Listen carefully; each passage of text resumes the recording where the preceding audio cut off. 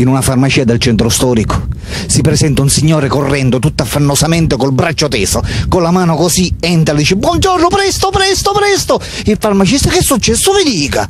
5, 5, mi devi dare 5 scatole di Viagra. 5 scatole di Viagra? Ma signore, guardi che 5 scatole sono pericolose e deve stare attento alla salute. No, mi servono 5 scatole di Viagra perché sta atterrando un aereo cariche di russe assatanate e mi devo divertire. Ne voglio 5 scatole. Il farmacista allora, va bene signore, come dice lei, ecco qua, 5 scatole di Viagra. Grazie, grazie, e scappa. L'indomani, sempre allo stesso orario, si presenta di nuovo questo signore, sempre correndo. Presto, presto, presto! Arriva il farmacista, oh, il signore di ieri! Buongiorno, mi dica, vuole altre 5 scatole di Viagra? No, no, mi serve una crema per le mani, perché l'aereo non è atterrato una simpatica vecchietta di 80 anni si trova a farsi una passeggiata per il paese tenendo sotto braccio una bella gallina. Passeggiati che passeggia. Si avvicina un bel giovanotto, alto, slanciato, educato, gentiluomo. Si avvicina alla vecchietta e le dice: Signora, ma com'è bella! Non è che me la darebbe per 20 euro? risponde la vecchietta. Oh, certo che te la darei, però c'è una cosa. Chi la tiene la gallina? Un giorno Giuseppe decise di fare un bel regalo a sua moglie Vita. Vita, amore mio, tieni, questo è per te. Si presenta col regalo, la moglie lo guarda. Amore! Oddio, sono tutta eccitata!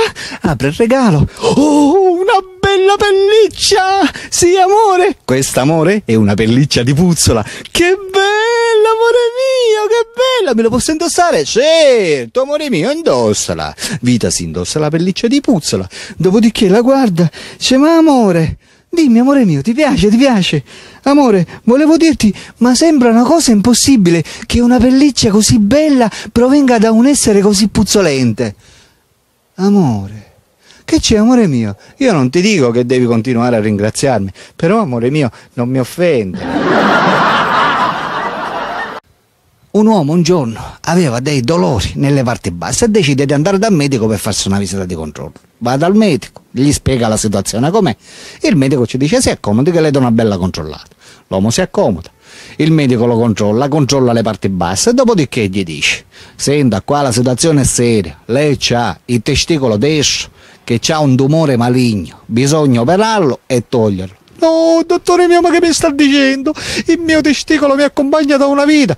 Mi dispiace, ma purtroppo se lei vuole campare, il testicolo si deve togliere. Facciamo una cosa, dottore, mi lasci un po' di tempo per pensarci. Va bene, ci pensi e poi mi dia la risposta. L'uomo se ne va, va a casa dalla moglie e gli spiega la situazione com'è. La moglie gli dice, ma perché ci dobbiamo soffermare a un dottore solo? Andiamo da un altro dottore e vediamo quello che ti dice si partono tutti e due e se ne vanno dal dottore. Il dottore lo visita al solito, va nelle parti basse, guarda il problema qual è, dopodiché va dall'uomo e ci dice guardi qua il problema è serio. Dice sì lo so dottore già me l'hanno detto, dice che bisogna togliere il testicolo. No, quando mai? Ma sa a quale medico lei è andato? Qua non ne capiscono niente, non c'è bisogno di togliere il testicolo. Ah grazie dottore, grazie. Non c'è assolutamente bisogno. E come mai? Perché il testicolo col tempo cade da solo. Un giovanotto alla prima esperienza arriva a casa e decide di confidarsi col padre. Papà, papà, dimmi caro, che è successo? Papà, ti devo confidare una cosa. Dimmi caro, che cosa è successo? Eh, dimmi, dimmi tutto, apriti. Sai papà, oggi ho avuto la mia prima esperienza sessuale. Complimenti! Eh, finalmente! Eh, te la dovevi mettere in testa, caro papà tuo. E anche per te è venuta l'ora. E dimmi, come state? È stato bello? Sì, sì. E, e quando ci sarà la prossima? E la prossima non lo so, papà. Perché, papà tuo? Eh, perché dipende da quando mi passerà il bruciore nel sedere. Un ragazzo giovincello, non sapendo come doveva passare il tempo, decide di andare a prostitute. Fino a lì, tutto bene. Si presenta dalla prostituta con la macchina. Si affianca. Buongiorno, signora. Buongiorno, caro. Ui, che facciamo? Andiamo? Signora, mi scusi. Ma quant'è? Eh, ragazzo mio, sei un bel ragazzo. Siccome sei un bel ragazzo, ti posso fare per te 50 euro. No, ma che dice? Che sta dicendo? Con questa crisi che c'è 50 euro e chi ce l'ha? E ragazzo mio, devi capire anche che 50 euro per darti il mio corpo non sono niente. Eh, signore, lo capisco, però devi capire anche che siamo in una situazione critica, soldi non ce n'è. Eh, ragazzo, che ti posso dire? Allora facciamo che, perché sei tu, ti posso fare stretto stretto 30 euro.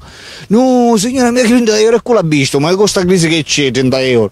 Ma ragazzo mio, quanto puoi spendere tu? Signora, io posso arrivare, sinceramente, a 5 euro. No, ma che su, 5 euro, troppo poco.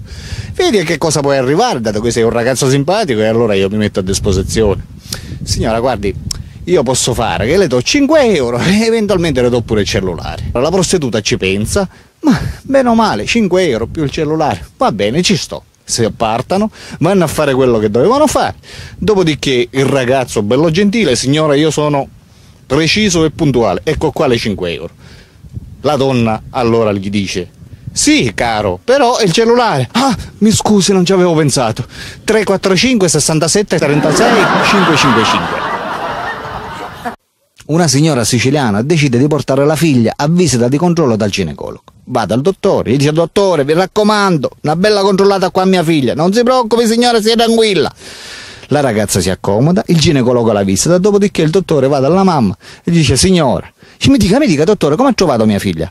Signora, sua figlia ha il clitoride che sembra il tappo di una bic. Ah, e questo lo so, caro dottore, com'è stretto e lungo? No, cara signora, è masticato. A volte la povertà gioca dei brutti scherzi. Luigi un giorno per accontentare sua moglie si trova ad andare a rubare in un negozio di notte. Dopo quattro volte che ci va viene preso e giustamente lo arrestano e lo portano in tribunale davanti al giudice. Il giudice allora gli chiede lei che cosa vuole dire in sua difesa?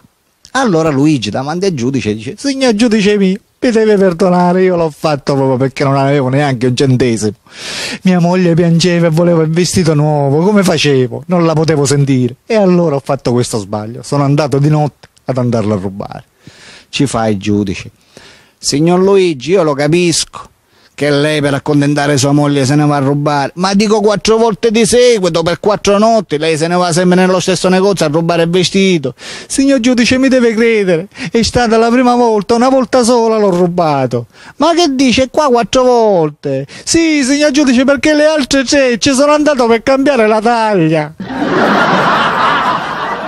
Un americano che si sente tutto importante, perché è americano, si trova a fare un viaggio e arriva a Roma. Arrivato a Roma si prende l'autobus per farsi un giro panoramico per Roma. Sale sull'autobus e si avvicina vicino all'autista. Autista, mi porti tu in giro per Roma per vedere il monumento? L'autista gli fa, babbo, se tenga forte che mo viaggiamo. Va bene, non c'è problema, io americano! E cominciano naturalmente a fare il giro della città. Arrivati alla Basilica di San Giovanni, naturalmente l'americano gli fa all'autista: Oh, cos'è quel monumento lì? Quello cos'è? Gli fa l'autista. Hai grigio, americano, quella Basilica di San Giovanni. Basilica di San Giovanni, bella, bella. Noi in America la facciamo in una settimana, la Basilica di San Giovanni. Noi forti costruttori americani, yeah! L'autista, giustamente stressato dal troppo orgoglio dell'americano, continua la sua strada in giro per Roma. Arrivati al Colosseo, l'americano gli fa: Oh, cos'è? Quel monumento lì, cos'è? Quella grande struttura, cos'è? Come si chiama? Gli fa l'autista. Quello, egregio signor, si chiama il Colosseo, famoso il Colosseo in tutto il mondo, gli risponde l'americano. E il Colosseo, noi in America, struttura come quella, la facciamo in due settimane, 15 giorni, noi americani, yeah! Noi americani, 15 giorni! L'autista stressato continua la sua strada in giro per Roma. Arrivati naturalmente alla Basilica di San Pietro, l'americano domanda: E quella, cos'è quella? Quella monumento grande cos'è? L'autista gli risponde: Ah, guardi, egregio signor, non lo so perché fino a ieri sera non ci stava. Stamattina mi sono alzato presto e ho deciso di andare a fare un poco di footing. Me ne esco da casa e verso il bar decido di entrare a fare colazione. Entro e che vedo un vecchio amico mio, il grande Totuccio, che ora giustamente dopo tanto tempo che io lo conosco è diventato qualcuno. Adesso un ragazzo di panza, ma soprattutto benestante. Ci guarda, ci dico ciao Totuccio mio come sta? E lui mi dice ciao Alberto, tu sei diventato Stranamore. E io ci ho detto e tu sei diventato Totuccio, mi fa piacere perché stai bene, la gente lo sa, ti conoscono tutti. Dice sì sì Alberto mio, dice però dice sai, dice, ho un pochino di problemi con mio figlio. Con tuo figlio che problemi c'hai Totuccio mio? Dice, tu lo sai che mio figlio sta per diventare avvocato, si sta laureando. Ah, davvero? Gli faccio, ah, si sta laureando, è un avvocato. Eh, avvocato è una bella professione. Sì, dice solo che ieri sera mi ha chiamato e mi ha detto, papà, ti devo parlare, ti devo dire una cosa importante. Mi ha detto, dice, papà, dice, io, tu sai che io vado a scuola ogni mattina con la Mercedes, a me non mi sembra giusto. Perché, papà tuo? Gli ho risposto io. Dice, perché gli altri, dice, mi guardano tutti, io ci vado con la Mercedes e gli altri miei compagni invece ci vanno con l'autobus. E tu che cosa gli hai detto, Totuccio? Sì, che cosa gli dovevo dire, Alberto mio? Ci ho detto, papà, tu continua a studiare, diventa avvocato che poi col passare del tempo ti prometto che ti compro pure l'autobus. Un avvocato di grande prestigio. Ah, purtroppo il problema che ogni notte riceve telefonate anonime dove lo svegliano e lo offendono continuamente. Allora lui decide finalmente di difendersi e di prendere a parolaccia questi sconosciuti. Al solito, una notte, l'avvocato, mentre che dormiva, riceve sempre la solita telefonata. Allorché lui risponde, pronto avvocato? Dice sì, sì, io sono. Ah, cazzo. E giustamente l'avvocato. Alla seconda telefonata, però, l'avvocato risponde, pronto avvocato? Ah, siete dei bastardi, non mi lasciate riposare in pace, come vi permettete? Lasciate stare le persone in pace. Ma avvocato così si risponde, oddio mi scusi, l'avevo scambiata per una telefonata anonima. Dice, ma lei è l'avvocato? Sì, sì, mi dica pure. Moglie e marito si trovano in aperta campagna a farsi una bella passeggiata per gustarsi la natura. A fianco a una staccionata, la moglie comincia a notare un contadino dove a fianco aveva un, un grande toro nero da monta. La moglie si avvicina e gli comincia a fare complimenti al contadino. Complimenti, che bel toro, è suo? Il contadino gli risponde: Sì, signora, questo è un toro originale da monta. E si figuri che questo toro monta 5-6 volte al giorno. Addirittura, dice la moglie. Hai sentito, caro? Hai sentito 5-6 volte al giorno? Risponde allora il marito. Ma mi scusi, signor contadino, ma sempre con la stessa vacca? Il contadino gli risponde: No, che c'entra? La vacca è diversa. Hai sentito, cara? Hai sentito? Alberto mio mi deve aiutare. Dimmi, sbilancia, ti parla pure. Eh, che, che cosa è successo? Ci ho detto io. C'è Alberto dice, io sto cercando, dice l'anima gemella, sto cercando un uomo che finalmente mi accetta per quello che sono. Ci ho detto, Leonardo, che problemi c'hai? Io sono, dice, una bellissima ragazza. Ci di presenza, dice, sono favolosa. Solo che purtroppo ho un piccolo difetto. Ci ho detto io, Leonardo, che difetto c'hai? Parla pure c'è ciò il difetto, dice che nell'intimità quando apro le cosce dice faccio puzza di cipolla. Nonostante dice che mi metta dice, più deodorante possibile per eh, nascondere questa puzza, però la puzza si sente lo stesso e gli uomini appena sentono questa puzza scappano. Ci ho detto io a Leonardo, scelto la puzza di cipolla, è grave, agli uomini non piace, però io posso risolvere il tuo problema. Io ho un bel ragazzo di Trapani che si chiama Francesco e ha vent'anni che è singolo e non ha mai avuto una ragazza, non aspetta altro lui che io ti ci presento e ti faccio vedere che tu trovi la tua anima gemella. Mi ha detto Leonardo, grazie, Alberto mio, meno male che ci sei tu. Finita la discussione, ho telefonato a Francesco, ci ho detto Francesco, vedi che ti ho trovato l'anima gemella, ho pensato io, tra Francesco e Leonardo, eh, giustamente spunta la coppia, spunta l'amore, faccio un'opera di bene. Francesco mi ha detto è una bella ragazza, sicura che è una bella ragazza? Ci ho detto io Francesco, vedi che è una ragazza stupenda. Francesco mi ha detto, dice va bene, dice allora ci sto. Dopodiché, siccome Francesco, come ripeto, ha vent'anni, che non ha una ragazza, quello che si va a preoccupare della puzza, questa fame che c'è. Perciò presento io a Francesco e a Leonardo. Loro due si conoscono, si frequentano e vanno d'accordo e si forma la coppia. Se non che, nel momento in cui Leonardo si trova in intimità con Francesco, che cosa succede? Leonardo apre le cosce e ci dice Francesco, dimostrami che mi ami, dimostrami quanto ti piaccio. Francesco a me mette mano, ora ci penso io. E Francesco si dà da fare. Se non che dopo dieci secondi appena Francesco si blocca. Oh, e sta così. Leonardo lo vede. Francesco mio, che cosa ti è successo? Perché ti sei bloccato? Che hai sentito puzza di cipolla? Francesco dice: No, mia cara, tutto a posto. Solo che per un attimo mi sono bloccato perché mi sono cominciati a lacrimare gli occhi. una suora, mentre che stava facendo le faccende domestiche in convento, viene colta da un improvviso singhiozzo che non le permette né di lavorare, né di mangiare, neanche di dormire.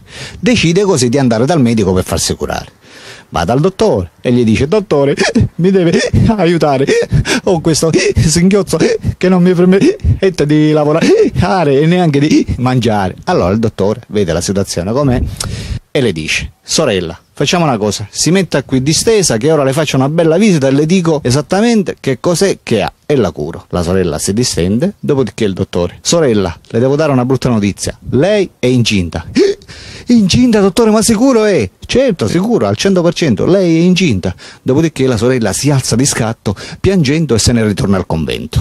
Dopo una mezz'oretta, il dottore riceve la telefonata dalla madre superiore la madre superiore ci dice: Dottore, dottore, ma lei ha visitato Sor Carmine e le ha detto che era incinta? Sì, sì, madre superiore, le ho detto che era incinta perché Sor Carmine è venuta perché aveva il problema del singhiozzo.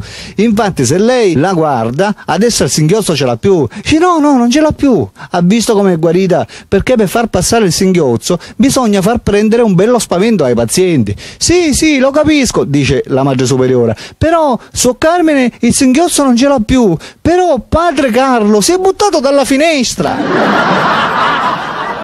Luigi e Alba, una coppia di coniugi contadini, dopo 40 anni di matrimonio, si accorge che naturalmente sul lato sessuale non c'era più niente e decide di andarsene finalmente a passarsi una visita dal sessuologo.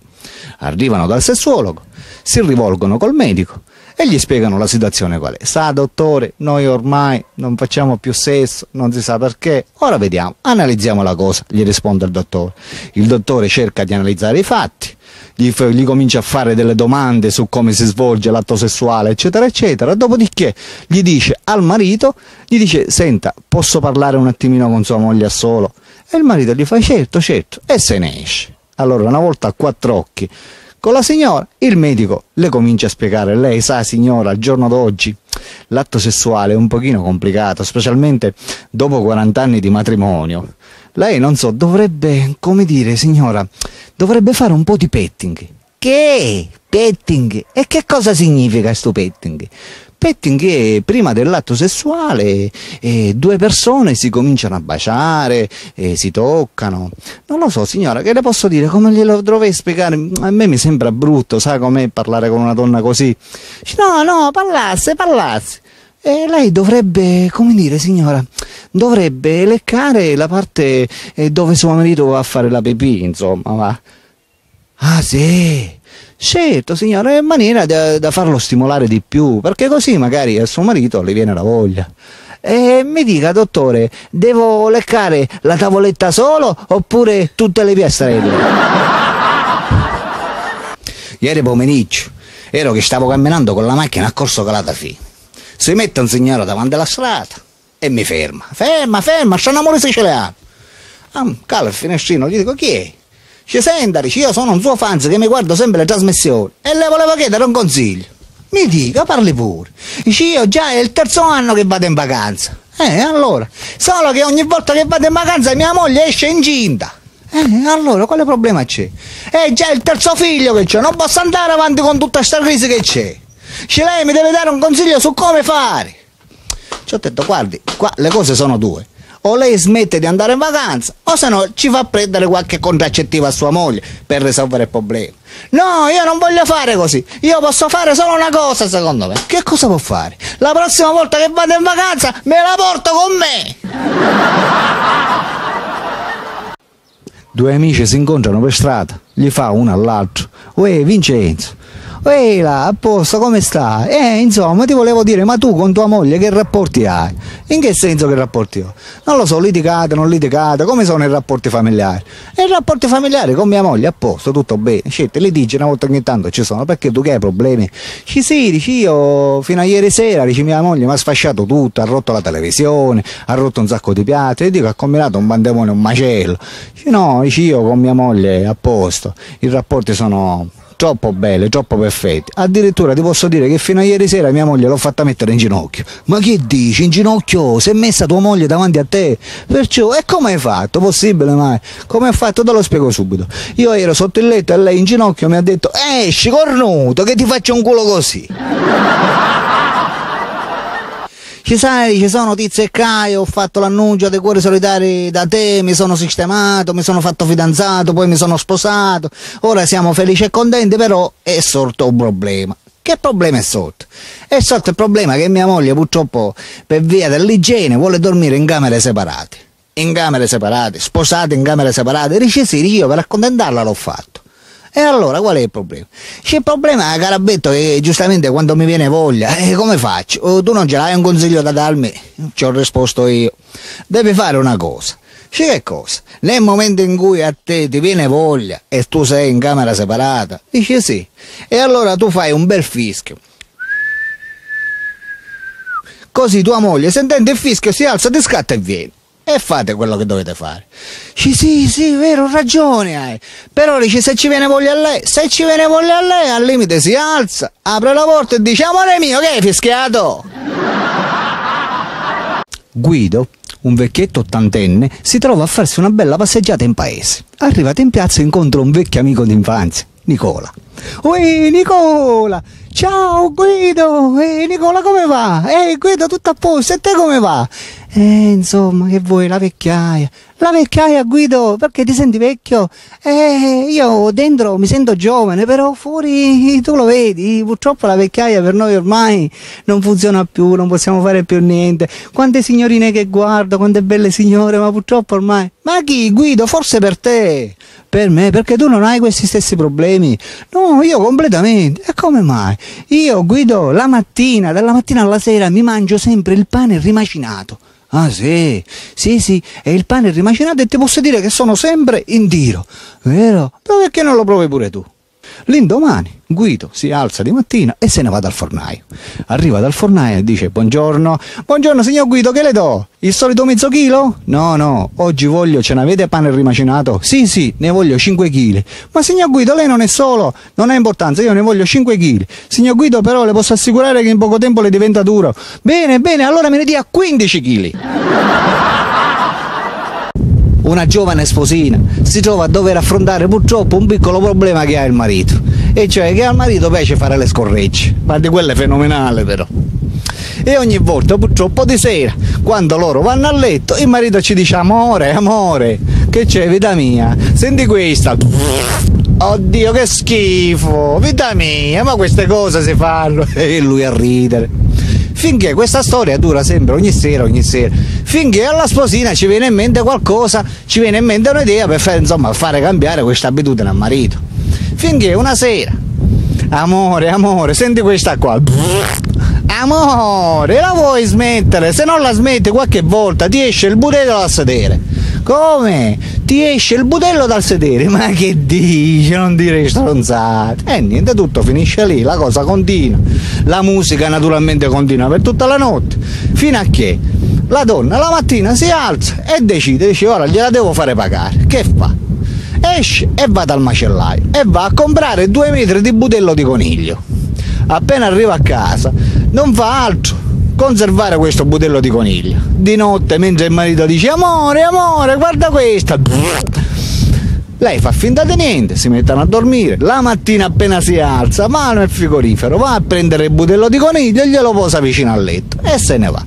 Il marito, appena si alza la mattina, comincia a strillare. Ah, ah, Dio, che è successo? E chiama la moglie, vita mia, vita mia. La moglie arriva, che c'è? Che è successo? Amore, mi è uscito il budello dal sedere, guarda, mi è uscito il budello dal sedere. E te l'avevo detto io, tu scherzi col fuoco. Oh, come faccio, vita mia? Allora la moglie giustamente gli fa un pochino di tenerezza, gli dice, vabbè vita mia, non ti preoccupare, tutto si risolverà.